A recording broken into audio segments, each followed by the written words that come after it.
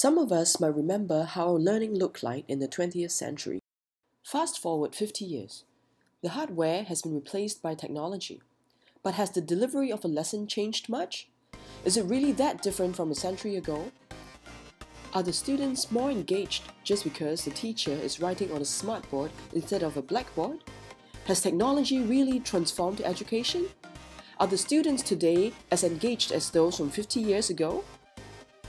Have you ever wondered when students start to lose focus in class?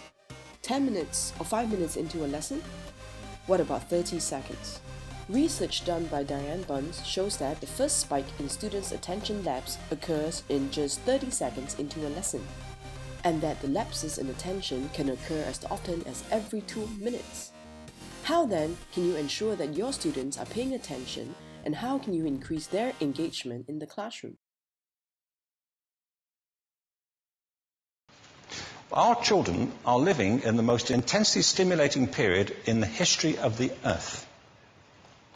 They're being besieged with information and calls for their attention from every platform computers, from iPhones, from advertising holdings, from hundreds of television channels. And we're penalizing them now for getting distracted. From what? You know, boring stuff at school, for the most part. It seems to me it's not a coincidence totally that the incidence of ADHD has risen in parallel with the growth of standardized testing.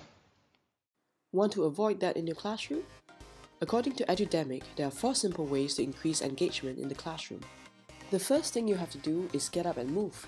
Get out of your chair or away from the front of the classroom. There's nothing that makes a student sit up as much as a teacher walking around. Second, focus on the higher order thinking skills instead of simply feeding students with information and dispensing worksheets. Get your students to think and create. Thirdly, create scenarios for students to use what they are learning in real world applications, making the learning more relevant and interesting. Last but not least, integrate technology. But remember, technology should not simply be used to substitute the conventional ways of teaching. To help you increase engagement in your classroom and to ensure that students' attention does not lapse, I would like to show you the benefits and features of Nearpod. Nearpod is an all-in-one solution for the use of mobile devices in education. Its workflow is simple and its features powerful. The use of multimedia content will keep the students focused and interested.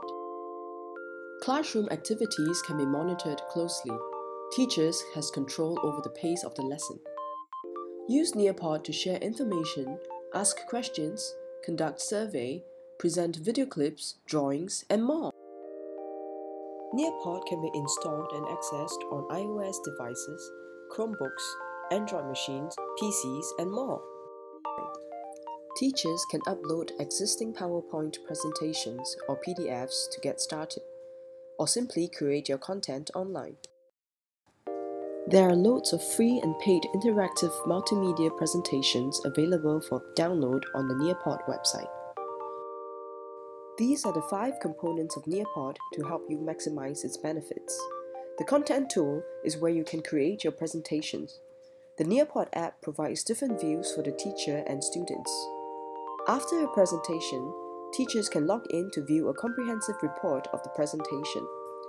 Lastly, there is a content store for presenters to find and download ready-made presentations. There is a variety of subscription packages to suit your needs, but you can always give it a try by signing up for a free account. Now that you know how Nearpod can be used to increase engagement, are you ready to revolutionize your classroom?